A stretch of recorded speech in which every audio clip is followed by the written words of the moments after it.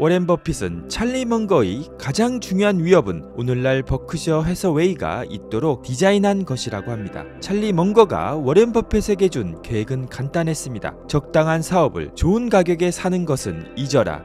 대신 훌륭한 사업을 적당한 가격에 구입하라. 워렌 버핏은 자신의 역할은 그 계획을 충실히 따르는 것이었다고 합니다. 워렌 버핏마저도 가르침을 받았던 찰리 먼거의 투자 철학 첫 번째는 다음과 같습니다. 안녕하세요. 세상의 모든 책들입니다.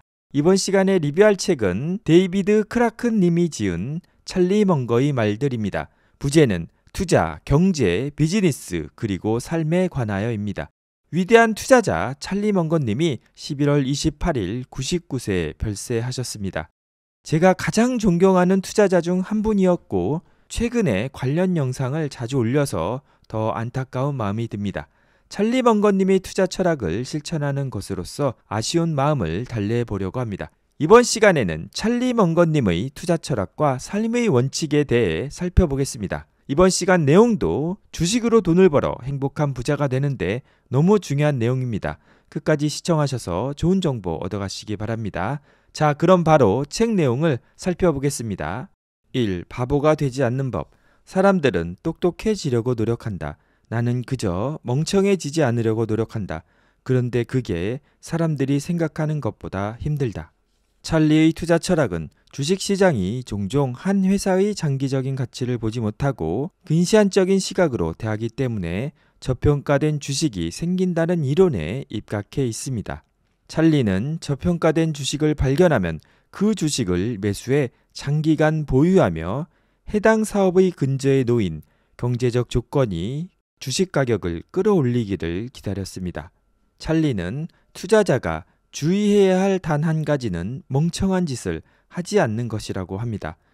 이때 멍청한 짓은 대체로 태만의 죄를 저지르는 것입니다. 이를테면 좋은 투자 기회를 발견했음에도 행동으로 옮기지 않거나 기회임이 분명한데도 해당 주식을 너무 적게 사는 일입니다. 그런데 그러지 않기가 생각보다 실로 어렵습니다. 2. 깔고 앉기. 투자하면 오랫동안 깔고 앉아라. 수수료를 덜 내고 브로커의 헛소리를 덜 듣게 된다. 또 투자가 잘 될 때 해마다 1, 2 또는 3%의 세금 혜택을 볼 수도 있다. 찰리는 무수히 매수, 매도하며 시장 동향을 예측하는 것보다 경제적 조건이 좋은 사업을 매수하여 오랫동안 보유하는 것이 더 낫다고 봅니다. 쉴 새 없이 사고 팔면 세금을 계속 내야 합니다. 한 종목을 20년 동안 보유하면 세금을 딱 한 번 내면 되며 찰리는 그것이 매년 대략 1에서 3%의 세금 혜택을 보는 효과가 있다고 말합니다. 찰리는 자본 환경이 훌륭한 비즈니스에 시간은 좋은 친구일 가능성이 높고 평범한 비즈니스에는 시간이 저주일 가능성이 높음을 압니다. 3. 지혜의 여명. 모른다는 것을 인정하는 것이 지혜의 여명입니다. 더 현명해질수록 아는 것이 많지 않다는 사실을 깨닫습니다. 무지를 인정하면 더 많이 배울 수 있게 됩니다. 무지를 인정할 때 지혜의 여명이 밝아옵니다. 찰리에 따르면 능력 범위라는 것이 있으며 이는 본인이 이해하고 가치를 평가할 수 있는 회사들로 이루어져 있습니다. 여기에는 본인이 알지 못하는 비즈니스를 제외시키는 것도 포함됩니다. 무지를 인정하면 투자를 하지 않거나 더 공부하여 가치 평가가 가능한 수준까지 이해를 높일 수 있습니다. 후자를 하면 그 비즈니스는 능력 범위 안으로 들어갑니다. 지혜에 도달하기까지 찰리가 걸은 길은 무지를 인정하고 그것을 바꾸기 위해 노력하는 것이었습니다. 4. 가격이 잘못 매겨진 도박. 가격이 잘못 매겨진 도박을 찾는 것, 그것이 투자다.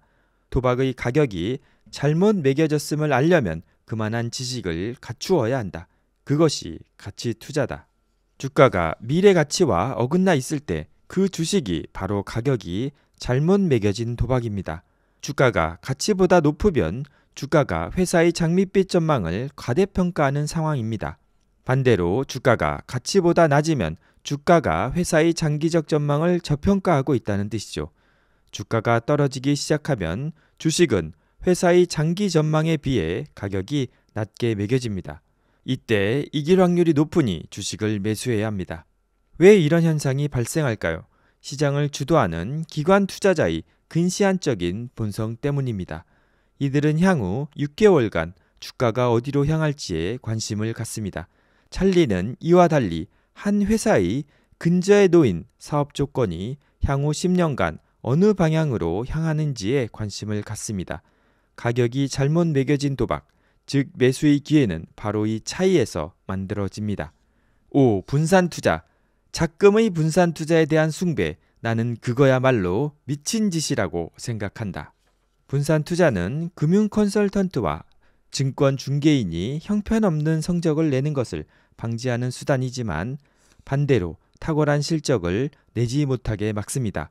50개 혹은 그 이상으로 폭넓은 분산 투자를 하면 손실을 수익이 상쇄하고 마찬가지로 수익을 손실이 상쇄합니다. 분산 투자는 기본적으로 시장 혹은 인덱스 펀드를 흉내내는 상황을 만듭니다.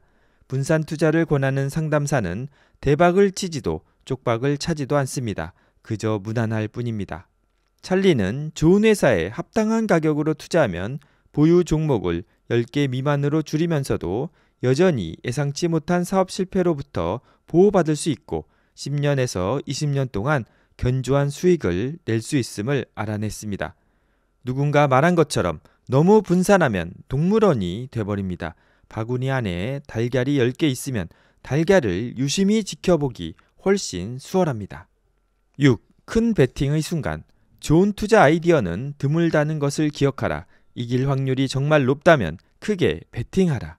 코앞에 굉장히 좋은 투자처가 있어도 대부분의 투자자는 소액만 찔끔찔끔 투자합니다. 그래서는 큰 돈을 벌 수 없습니다. 그럼 언제가 기회일까요? 찰리는 어떤 거시 경제적 사건으로 주가가 폭락할 때 가능한 많이 매수합니다. 기억하세요. 찰리의 세계에서는 장기적인 성장 동력을 가진 회사에 투자하면 주가가 떨어질수록 더 큰 기회가 열립니다. 찰리는 그럴 때 크게 베팅하라고 말하는 것입니다. 7. 선견지명. 나는 뭔가를 정확히 예측한 적이 한 번도 없다. 나는 정확한 예측으로 돈을 벌지 않는다. 그저 좋은 비즈니스에 들어가 거기에 머물 뿐이다. 찰리는 날씨, 선거 결과, 경제, 주식시장, 특히 주식시장의 미래를 잘 예측하지 못했습니다. 주식시장에서 어떤 일이 일어날 것이라고 경제지에 떠드는 말을 찰리는 헛소리 취급했습니다. 찰리는 그저 좋은 비즈니스를 좋은 가격에 살 기회를 찾았습니다. 하지만 한 가지는 예견했습니다. 주식 시장에는 정신 차리기 힘들 정도의 호황과 급격한 주가 상승 시기가 있기 마련이고 보통 그 뒤를 극심한 공황과 처참한 주가 폭락이 찾아온다는 것입니다. 그렇다면 그가 이런 순간이 언제 발생할지를 정확하게 예측할 수 있을까요? 그렇지는 않습니다. 그러나 그런 일이 일어난다는 것은 알기에 인내심을 가지고 기다리기만 하면 됩니다. 8. 인내심. 내 성공의 비결은 오랜 시간 주의를 기울일 수 있다는 것이다. 투자자에게 인내심은 미덕이자 자산입니다. 대부분의 사람은 인내심이 그저 일부 투자처에 영원히 머무르며 그 가치가 오르길 차분하게 기다리는 것이라고 생각합니다. 찰리가 보기에 인내심은 현금을 쌓아두고 훌륭한 회사의 주식 가격이 떨어지길 차분하게 기다리는 것을 포함합니다. 여기서는 적절한 가격에 팔리는 훌륭한 회사를 찾을 때까지 집중력을 유지하는 것도 들어갑니다. 변호사나 의사가 되기 위해 필요한 집중력 유지 기술은 위대한 투자자가 되기 위해서도 똑같이 필요합니다. 이 책에서 보면 찰리 먼거는 현금의 중요성을 지속적으로 이야기하고 있습니다. 현금을 쌓아두고 기다리는 것도 엄청난 인내심을 필요로 하는 것입니다. 9. 기다림. 기다림이야말로 투자자를 돕는다. 그러나 많은 사람이 기다림을 견디지 못한다. 17세기 프랑스의 수학자 블레즈 파스칼은 모든 인류의 문제는 사람이 방 안에 홀로 조용히 앉아 있지 못하는 것에서 비롯된다 라고 말했습니다. 찰리도 동의합니다. 견고한 비교 우위가 있는 훌륭한 회사가 좋은 가격에 팔리기를 기다려야 합니다. 그리고 찰리가 말하는 좋은 기다림은 한두 달을 말하는 것이 아닙니다. 좋은 투자를 위해서는 수년의 시간이 필요할 수도 있습니다. 오렌 버핏은 1960년대 후반 주식시장을 빠져나간 뒤 다시 주식 매수에 흥미를 느끼기까지 5년을 기다렸습니다. 1990년대 후반 인터넷 버블 시기의 찰리와 워런은 주식 시장에서 살만한 주식 찾기를 포기했고 2003년이 되어서야 찾기 시작했습니다. 하지만 대부분의 투자자에게 기다림은 쉽지 않습니다. 그리고 이는 뮤추얼 펀드와 헤지펀드 매니저에게도 똑같이 적용됩니다. 그들은 분기별 성과에 쫓기기 때문에 좋은 주식을 탐색하며 몇 년을 기다린다는 선택지는 없는 것이나 마찬가지입니다. 투자할 종목을 찾으며 기다리는 것 이외의 일도 있습니다. 주식을 매수하고 나면 그 회사의 비즈니스 모델이 회사를 키우고 주식 가격을 높이기를 기다려야만 합니다. 찰리와 워렌이 투자 종목을 영원히 보유할 생각이라고 말했을 때 그 말은 진심이었습니다. 월가의 그 누가 이런 선언을 할 수 있을까요? 이것이 찰리와 워런이 누군가 자신의 투자 스타일을 따라할 것을 전혀 걱정하지 않은 이유입니다. 그들만큼 기다릴 인내심이나 규율을 가진 기관이나 개인은 없기 때문입니다. 참 저도 이것을 너무나 못하는 것 같습니다. 현금을 쥐고 있는 게 정말 힘들더라고요. 현금이 있으면 아무 종목이나 사는 습관이 있었는데 이거는 정말 꼭 고쳐야 될 습관인 것 같습니다. 10. 지속되는 문제. 정말 드문 아주 희귀한 예가 끝날 줄 모르는 불행의 바다보다 훨씬 견디기 쉽다.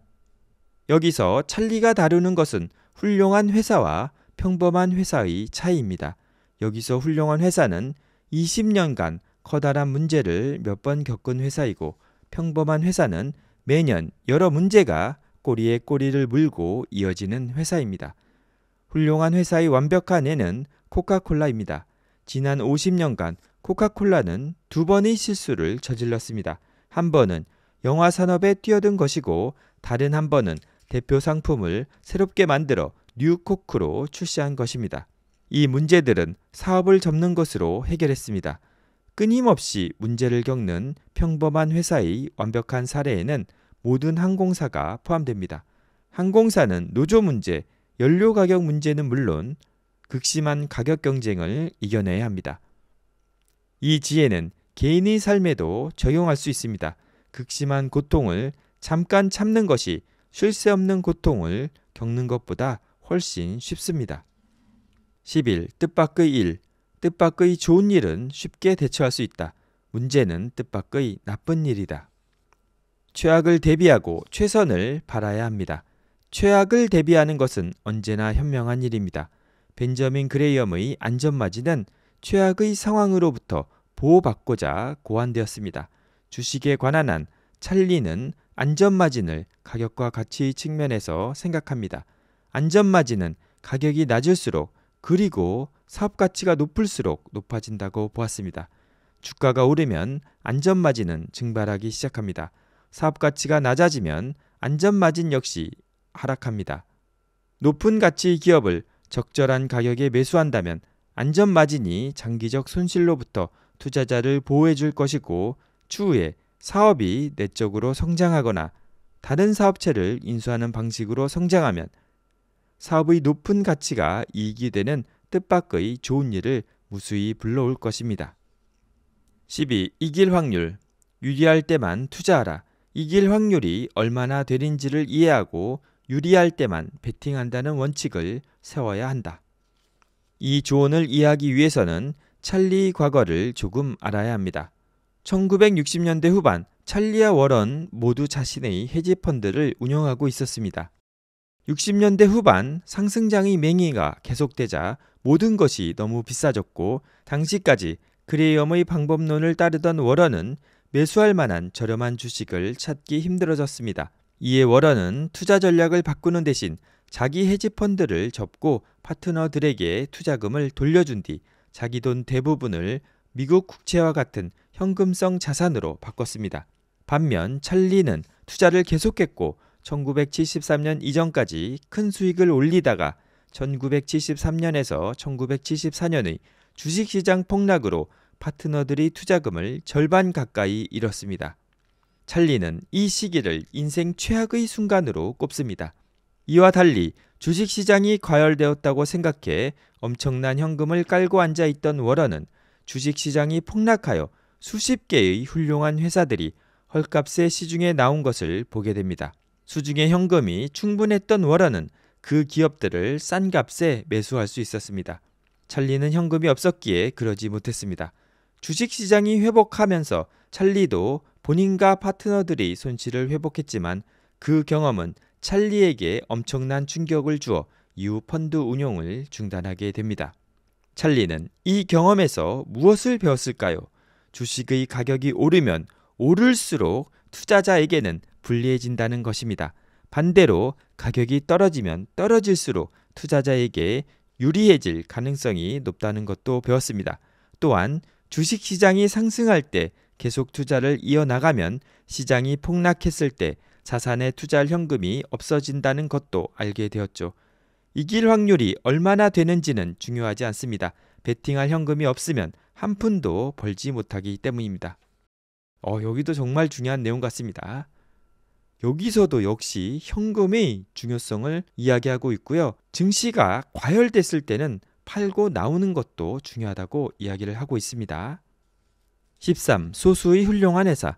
저평가되었다는 이유만으로 매수하면 가격이 내재 가치에 도달했다고 판단될 때 매도할 생각을 해야 한다. 그건 무척 어려운 일이다. 하지만 소수의 위대한 회사 주식을 매수하면 그냥 깔고 앉아 있기만 하면 된다. 그건 좋은 일이다. 저평가된 주식을 매수하는 벤저민 그레이엄의 방식은 투자자가 회사의 가치를 평가한 뒤 주식이 그 가치에 도달하면 매도해야 합니다. 이 방식은 평범한 회사는 물론 오래가는 견고한 경쟁 우위를 가진 훌륭한 회사의 주식도 미리 정한 적정 가격에 도달하면 매도해야 하기에 바람직하지 않습니다.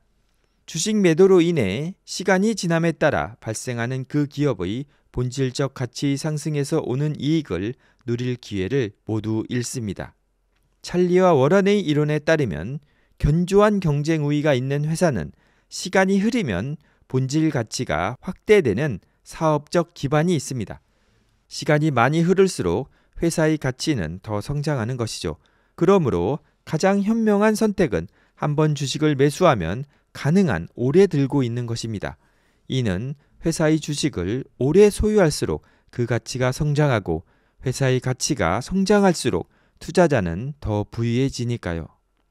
버크셔 해서웨이가 이를 잘 입증합니다. 지난 50년을 돌이켜보면 버크셔 주식은 1970년대 초에는 장부 가격보다 낮은 가격에 거래되다가 1990년대 후반에 장부 가격의 거의 두 배에 달하는 가격에 거래되었습니다. 만약 버크셔의 주식을 장부 가격보다 싸게 매수하여 두 배의 가격으로 매도했다면 많은 돈을 벌었을 것입니다. 그러나 그리했다면 2000년에서 2016년 사이에 가치를 3배로 불린 버크셔 해서웨의 행보를 보며 한숨을 쉬었겠죠. 회사를 제대로 골랐다면 찰리 말처럼 깔고 앉아 있는 것이 답입니다. 14. 기회. 때때로 훌륭한 관리자가 운영하는 뛰어난 사업에 투자할 기회가 올 것이다. 당연히 그날이 극락을 맛보는 날이다. 찰리는 거대한 잠재력을 가진 회사의 주식을 매수할 기회가 있을 때 정신이 나가 매수하지 못하는 것은 큰 실수라고 믿습니다. 여기서 중요한 점은 기회가 왔을 때 공격적으로 매수해야 한다는 점입니다. 문제는 그러려면 보통 하락장에서 매수해야 하는데 이는 대부분의 사람에게 무척 어렵습니다. 다른 투자자가 돈을 잃는 것을 보면 겁에 질려서 투자에 대한 자신감을 잃게 됩니다. 기회가 눈앞에 있는데 투자를 하기엔 너무 무서운 것이지요. 또한 매수해야 하는 좋은 기회에 현금이 없을 수도 있습니다.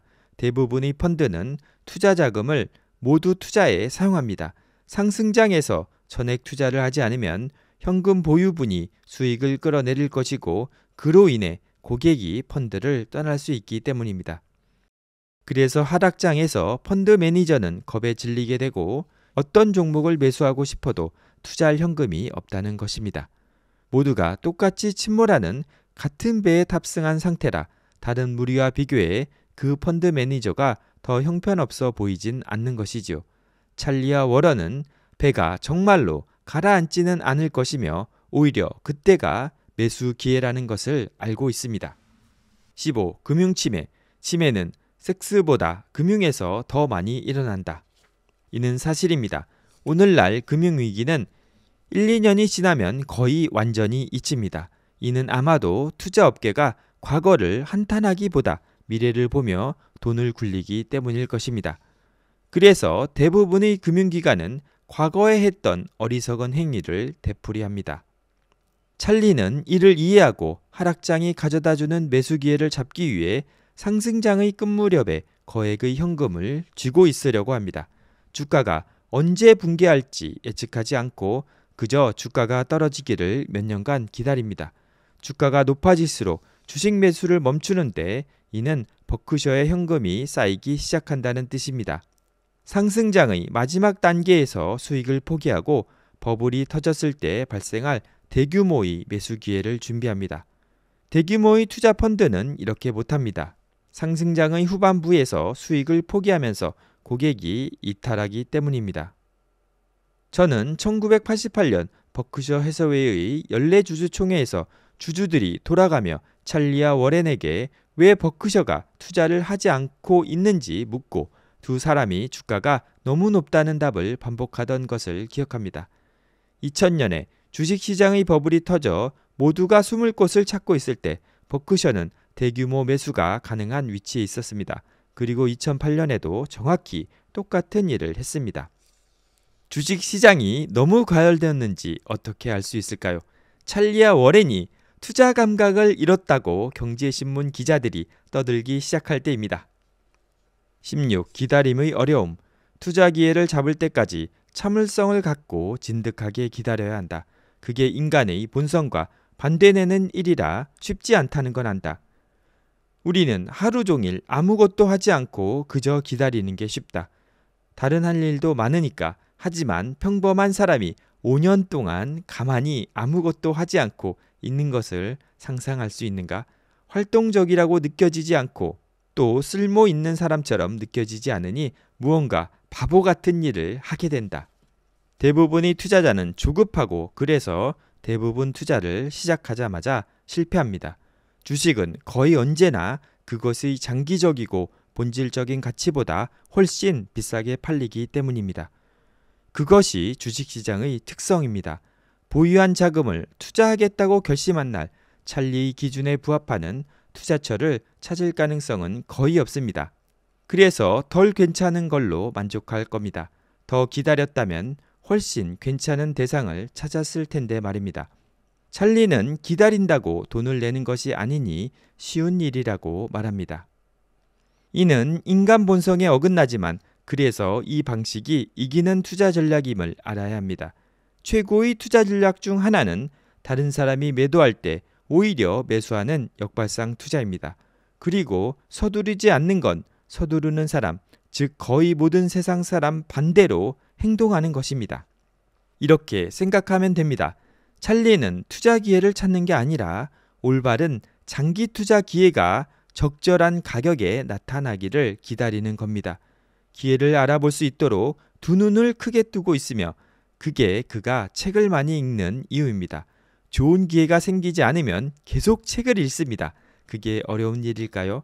투자 매니저를 찾아가니 올바른 투자처를 찾으려면 5년이 걸릴 수도 있다고 말했다고 상상해 보십시오. 대부분의 사람은 자리에서 일어나 다른 투자 매니저를 찾아갈 것입니다. 찰리가 보통의 투자자와 비교해 가진 이점이 바로 기다림입니다. 대부분의 사람이 찰리처럼 좋은 장기 투자처가 좋은 가격에 나타나는 것을 5년간 기다리지 못하기 때문에 그리고 대부분의 경우 주식이 내재 가치보다 더 높은 가격에 팔리고 있기 때문에 보통 주식을 매수할 때 과한 비용을 지불합니다. 여기서 질문을 하겠습니다. 조급하게 행동해 투자 종목에 과도한 비용을 지불하는 99%의 투자자에 속하십니까?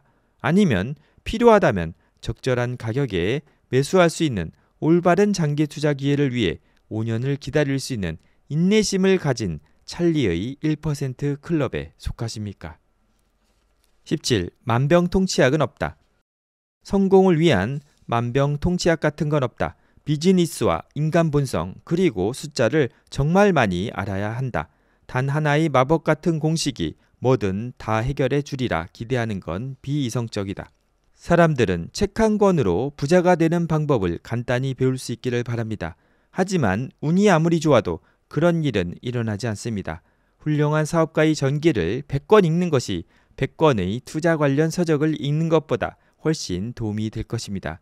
왜 그럴까요? 100개의 다른 비즈니스 모델의 역사를 읽으면 언제 어떤 사업이 힘든 시기를 겪었으며 그것을 어떻게 극복했는지 배울 수 있습니다. 그리고 어떤 점이 다양한 비즈니스를 위대하게 만들었고 어떤 점이 그렇지 않았는지 배울 수 있습니다. 이런 교훈은 어떤 사업이 잠재적 경쟁 우위를 갖고 있는지 알아볼 수 있게 도와줍니다. 그것이 훌륭한 장기 투자의 핵심입니다. 비즈니스에 관한 책을 읽는 것만으로는 충분하지 않을 수 있습니다. 두 학기 정도 비즈니스의 언어라 할 회계를 공부하는 것이 도움이 될 수 있습니다. 그리고 두 학기 정도의 경제학 공부와 함께 중앙은행에 대해 배울 수 있는 좋은 수업을 하나 들어 시장 구제에서 연방준비은행의 위력을 이해해야 합니다. 앞에서 말한 것들을 공부하면 매력적인 투자 종목을 찾기 좋은 상태가 될 것입니다. 다만 좋은 종목을 찾으려면 굉장히 많은 독서를 해야 합니다. 1년에 200개에서 300개 정도의 기업 연례 보고서를 읽고 월스트리트 저널을 봐야 합니다. 이제 왜 대부분의 사람이 간편하고 쉬운 방법을 찾는지 이해가 될 겁니다. 재밌는 건 쉬운 방법을 찾는 사람들이 종종 주식시장에서 바보 같은 짓을 한다는 겁니다. 그리고 찰리처럼 그것을 간파하는 사람들이 그런 사람들로부터 이익을 취합니다. 오렌이 말한 것처럼 카드 게임을 하는데 그 판에서 누가 호구인지 모르겠다면 본인이 호구인 것입니다. 여기도 참 중요한 내용 같습니다. 이제 투자 챕터의 마지막 내용입니다. 18. 평균 넘어 주가가 하락하는 건 주식시장의 본성이다. 하락장에서 사람들은 고통스러워한다. 보수적인 투자와 기적을 바라지 않는 꾸준한 저축이 답이다. 여기 있는 사람 몇몇은 평균보다 두 배 높은 수익을 내는 방법을 알아낼 것이다. 그러나 모든 사람에게 그 방법을 가르치진 못한다. 너무 어려운 일이다. 주식시장의 평균보다 좋은 성적을 내는 것은 어렵긴 하지만 불가능하진 않습니다. 하지만 그렇게 되기까지 무척 많이 읽어야만 합니다. 대부분의 사람에게는 돈을 저축하다가 하락장에서 인덱스 펀드에 가입하여 계속 보유하는 것이 가장 단순하고 쉽고 안전한 투자입니다. 인덱스 펀드에 투자한 사람은 은퇴하고 나서 필요에 따라 그것을 팔면 됩니다. 하지만 투자 지식을 얻고자 공부에 많은 시간과 에너지를 투자하는 사람에게 주식 시장은 상상하기 힘들 만큼 거대한 부를 쌓을 수 있는 끝없는 기회의 바다입니다. 그리고 이 2장은 경제 부분이고요. 3장은 비즈니스 부분인데 여기도 굉장히 좋은 내용이 많거든요. 그런데 이번 시간에는 시간 관계상 생략을 하겠습니다. 관심 있으신 분들은 이 부분도 꼭 살펴보시기 바랍니다. 이제 3 부분입니다. 19. 커리어. 커리어의 세 가지 규칙. 1. 내가 사지 않을 것을 팔지 마라. 2. 존중하고 존경하지 않는 사람 밑에서 일하지 마라. 3. 좋아하는 사람하고만 같이 일하라. 찰리의 커리어에 관한 조언은 선물과 같습니다. 왜 자기가 사지 않을 물건을 팔면 안 될까요? 무언가를 파는 것에 관해 쓴 어떤 책이든 제품을 좋아하지 않거나 이해하기 힘들거나 믿지 않는다면 그 제품을 파는 건 재앙이 될 것이라 말하기 때문입니다. 위대한 영업자는 자기 상품을 믿습니다. 그게 성공의 비결 중 하나입니다. 왜 존경하지 않는 사람과 일을 하면 안 될까요? 그가 가르쳐 줄 것이 없고 지성과 삶이 나아가도록 돕지 못하기 때문입니다. 왜 좋아하지 않는 사람과 같이 일하면 안 될까요? 일은 삶이고 부유한 삶의 척도 중 하나는 자기 일을 좋아하고 함께 시간을 보내는 사람을 좋아하는 것이기 때문입니다. 일터에서 일하면서 비참함을 느낀다면 아무리 많은 돈을 벌어도 그건 너무나 안타까운 삶입니다. 20. 전문화 극단적인 전문화가 성공의 길이다. 대부분의 사람에게는 세상을 이해하려고 노력하는 것보다 전문화에 힘쓰는 것이 훨씬 좋다. 전문화는 모든 종에게 생존의 핵심이며 모든 사업적 성공의 핵심입니다. 전문화는 경쟁으로부터 우리를 보호합니다. 진입장벽을 만들 수 있기 때문입니다. 전문화가 어려울수록 진입장벽도 높습니다. 다른 모든 사람이 하는 일을 하면 모든 사람과 경쟁해야 합니다. 하지만 전문성을 기르고 강화하면 대중과 차별화됩니다. 포르쉐를 저렴한 동네 정비소에 맡기나요? 아닙니다. 전문적으로 포르쉐를 다루는 정비소에 차를 맡기죠. 포르쉐 전문점은 다른 일반 정비소 공임의 두 배를 청구하지만 전문가라는 이유로 그 가격이 정당화됩니다. 그리고 이는 의학, 법학은 물론 배관 공사와 목수일 등에서도 그대로 적용됩니다. 큰 돈을 버는 건 전문가입니다. 나머지는 그렇지 못합니다. 20일 은퇴 살아보니 알게 된 것이 있다. 끊임없이 생각하고 끊임없이 독서하면 일을 하지 않아도 된다. 미래가 없는 월가 직장에 지쳤습니까? 상사가 힘들게 하나요? 그럼 계속 생각하고 계속 책을 읽으세요. 그럼 괜찮을 것입니다. 찰리가 보기에 그것이 투자 게임의 전부이기 때문입니다. 많이 생각하고 많이 읽어야 합니다. 찰리는 하루에 많으면 600페이지 정도를 읽는다고 합니다. 여기에는 매일 읽는 신문 세 부와 일주일에 통상적으로 읽는 책 몇 권이 포함됩니다.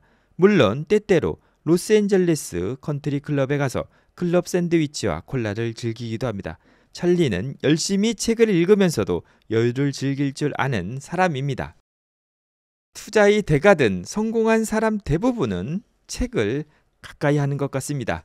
여러분들도 저희 채널과 책을 가까이 하셨으면 좋겠습니다. 22. 분수에 맞는 삶. 모차르트는 화려한 삶이 삶을 망친 좋은 예다. 그의 업적이 줄어든 것은 아니다. 모차르트의 음악적 재능은 사상 최고였는지도 모른다. 하지만 그는 애초부터 꽤나 비참했다. 평생을 소득보다 많이 소비하며 살았다. 그것이 사람을 비참하게 만든다. 찰리가 부를 축적한 비결 중 하나는 젊은 시절 혼신의 힘을 다해 절약을 한 것입니다.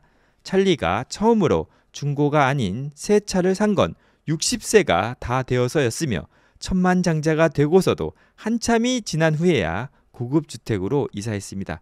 그런 한 푼 한 푼 아낀 돈이 투자 자금이 됩니다. 과소비는 우리를 비참하게 만들 수 있으며 돈을 덜 쓰고 지혜롭게 투자하면 V 추월차선 위를 달리게 될 것입니다. 23. 성공의 비밀. 나는 관심 없는 분야에서 크게 성공한 적이 한 번도 없다. 큰 흥미를 느끼는 무언가를 찾지 못하면 제법 똑똑한 사람이라고 해도 크게 성공하기는 힘들 것이다. 찰리는 위대한 사업가의 핵심은 그 비즈니스를 향한 열정이라고 종종 말합니다. 그런 열정을 가진 사람의 비즈니스는 일이 아닙니다. 평생의 사랑이죠. 그들은 집보다 일터에 있길 원합니다. 그들은 일에 대한 열정이 삶을 움직이고 정의하는 예술가입니다. 여기서 찰리는 이 이론이 우리가 하는 모든 일에 적용된다는 말을 하는 것입니다. 무언가에 성공하려면 그것에 대한 열정이 있어야 합니다. 지적 능력보다는 그 열정이 성공 여부에 결정적입니다. 스티브 잡스가 말한 것처럼 일은 삶의 많은 부분을 채울 것이다. 그러므로 진정으로 만족스러운 삶을 사는 유일한 방법은 자신이 위대하다고 생각하는 일을 하는 것이다. 그리고 위대한 일을 할 수 있는 유일한 방법은 자기 일을 사랑하는 것이다. 24. 공부벌레. 워런은 지구상 최고의 공부벌레 중 한 명이다. 워런의 투자 기술은 65세가 된 이후로 눈에 띄게 좋아졌다. 워런과의 모든 투자 과정을 검토한 결과 분명하게 말할 수 있다.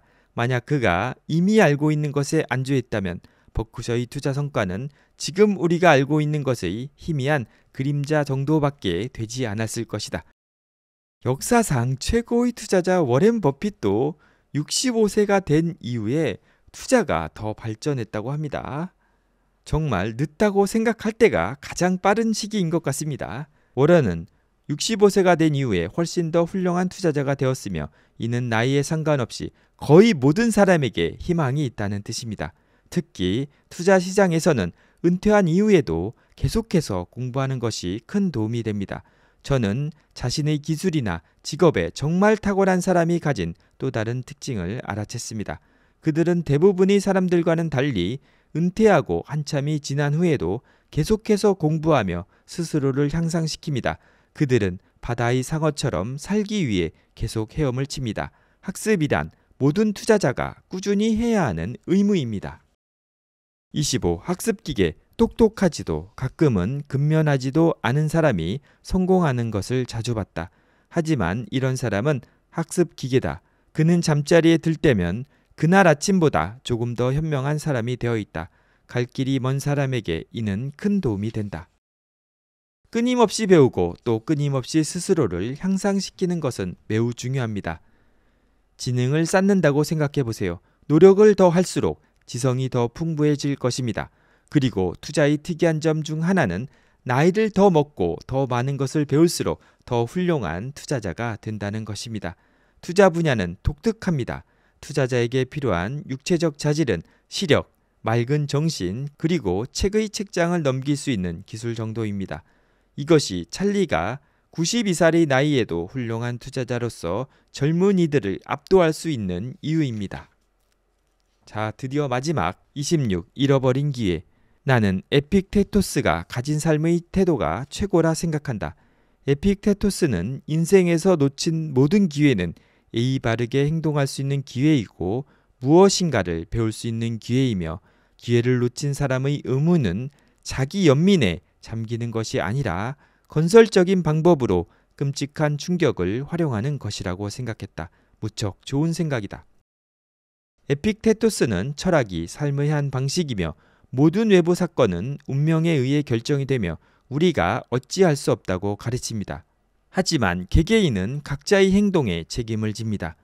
투자 부분에서 에픽테토스의 운명과 비슷한 것은 개별 회사에 영향을 주는 거시적, 미시적 사건들 그리고 그에 따라 변동하는 주가입니다. 그런 사건에 어떻게 반응하고 무엇을 배울지는 투자자의 책임입니다. 찰리는 투자의 삶에서 모든 손실 하나하나로부터 많은 배움을 얻었습니다. 찰리가 매우 경쟁적인 산업, 섬유, 재화, 의류 소매업, 그리고 항공의 문제를 한 번도 겪어보지 못했다면 그는 코카콜라나 시즈 캔디처럼 소비자 독점의 지위를 가진 회사를 소유할 통찰력을 갖지 못했을 것입니다. 또한 가이코와 같은 저비용 생산이 비교 우위가 될 수 있음을 알지 못했을 것입니다. 1973년에서 1974년의 주식시장 폭락을 경험하지 않았다면 2008년, 2009년 웰스파고 주식을 매수하기 전까지 현금을 쌓아둘 통찰력을 갖지 못했을 것입니다. 토마스 에디슨은 실패는 성공의 어머니라고 말했습니다. 비록 찰리가 에디슨만큼 많은 실패를 경험하진 않았지만 그 역시 실패의 경험이 성공의 근원이었다고 말할 수 있습니다. 자, 이렇게 찰리 먼거의 말들의 리뷰를 마치려고 합니다. 제가 생각하기에는 여기서 나온 말들이 찰리 먼거의 투자 철학뿐만이 아니라 우리가 투자할 때도 정말 명심해야 될 중요한 내용을 담고 있는 것 같습니다. 주식 투자에 관심 있으신 분들은 이 책을 꼭 한번 읽어서 보시고요. 이번 영상이 그 중에서 핵심되는 내용을 담고 있기 때문에 여러 번 돌려보시면서 자기 것으로 소화하시면 주식 투자에 정말 많은 도움이 될 것이라고 저는 생각하고 있습니다. 찰리 멍거님이 별세를 하셔서 너무나 안타까워서 찰리 멍거님의 책을 한 권 더 리뷰하게 되었습니다. 앞으로 기회가 될 때마다 찰리 멍거님의 책을 리뷰를 하려고 합니다. 이번 시간 영상이 도움이 되셨거나 다음 시간 영상이 기대가 되신다면 좋아요와 구독, 알람 설정 부탁하겠습니다. 책 내용도 너무 좋고 이번 영상 내용도 너무나 투자에 도움이 되기 때문에 여러분들에게 소개해 주셨으면 감사하겠습니다. 긴 시간 동안 시청해 주셔서 감사하고요. 다음 시간에도 좋은 영상으로 꼭 다시 찾아뵙겠습니다. 감사합니다.